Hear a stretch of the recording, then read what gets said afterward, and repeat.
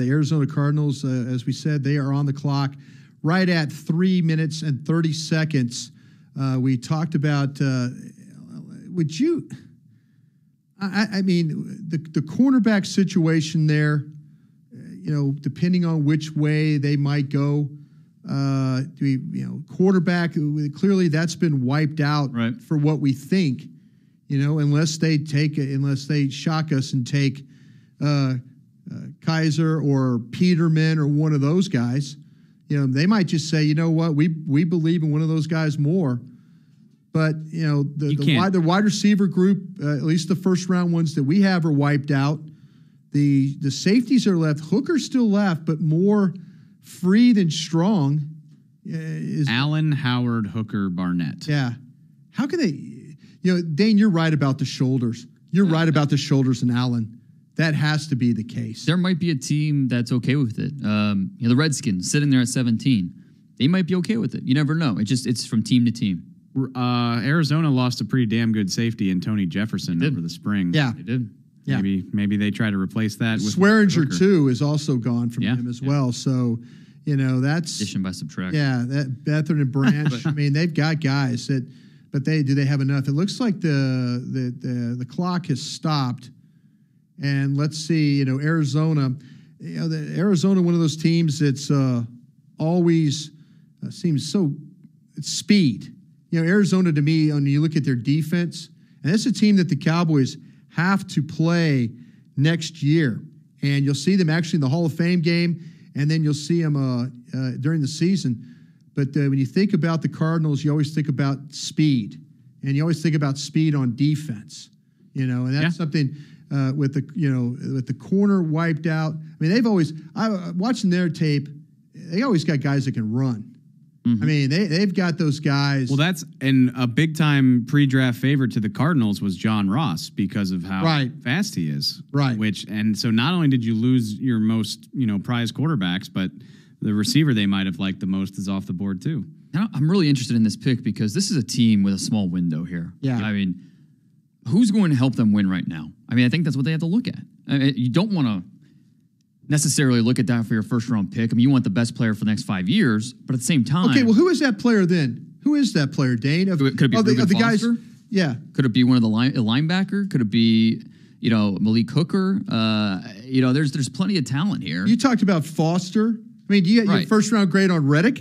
yeah, absolutely. I think Reddick Forgot about him. Yeah, in my five bold predictions, whatever, I said Reddick would be the first linebacker drafted. I think that he'd be a he'd be a great pick here.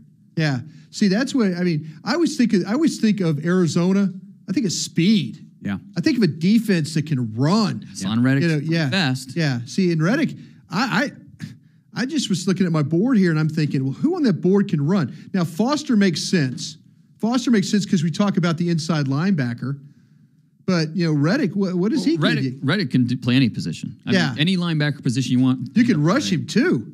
This is this is the place for him too. And ter- just uh, like I talk about, like oh, I don't trust You the forgot about him? Reddick. Yeah. I mean, in not in the grand scheme of things, but I just I haven't. It's the first time we've said that name tonight. Basically, Yeah. is what I'm saying. Yeah. Um, I just was thinking of speed. But I, I'm just thinking, you know, we I always talk about, you know, the Cowboys. Uh, they're not creative enough to use these type of like hybrid players. Well, the the Cardinals fi- figured out how to use Tyrann Mathieu.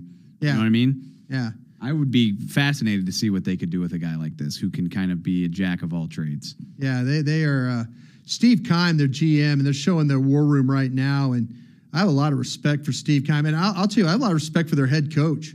I think their head coach takes their players and I think you does a really good job with those guys. I, I think you'll see a pretty impressive team when we uh, we venture to the desert this year. I think you. Hey, don't forget the Hall of Fame game. Yeah, absolutely. I think you need to get a Kangol hat like Bruce Arians. Yeah, Get the, Bruce. I, I get the BB. Bruce is way too cool for me. no, dude. No, no, in a good way. I don't mean that. I mean that in a positive way. I don't mean that. You could a, pull off the Kangol. Yeah. It's all about knowing you can. He's he's really really good. Okay, so you know we we think that they could go several different ways here.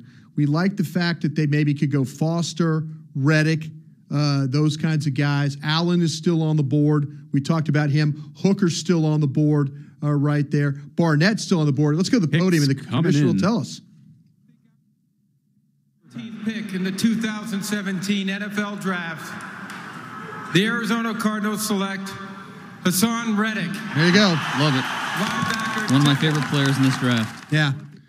As they as they say, man, you watch him on tape. Heck, that guy's a blur. Seriously, they, they got that. He's got that burgundy and maroon, whatever it is he's wearing for Temple, and you watch him run from the backside, and he is smoking. So once again, here are the here are the uh, here are the Arizona Cardinals adding a a piece to their defense. Didn't help. Uh, didn't help the quarterback that's old. Didn't help the receiver that's Damn, old. It helps that defense though. But it helps that defense. it does. It And sure does help that defense. Look, so, Haason Reddick can play inside, can play outside. He can cover. He can blitz. He can play sideline to sideline.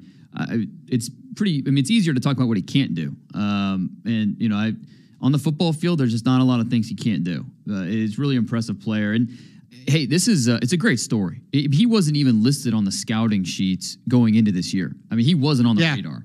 Had the great senior year, goes to the Senior Bowl, proves that he can stand up and play an off-ball linebacker position, cover running backs out of the backfield, cover the tight end, and then at the combine continues that momentum with great testing numbers. Uh, he's had such a, a great ascension. I, I really fell in love with this kid when I started watching him in the fall. Uh, one of my favorite players this year. I, it's a home run pick for the Cardinals. yeah, he's. Uh, I, I do. I like the pick too. I, I'm a big fan. I understand Foster in that situation. I mean, I could see why teams maybe uh, are, are are turning away from him. But uh, Reddick, you know, if you're looking for a linebacker, that, that to me, he this guy never comes off the field.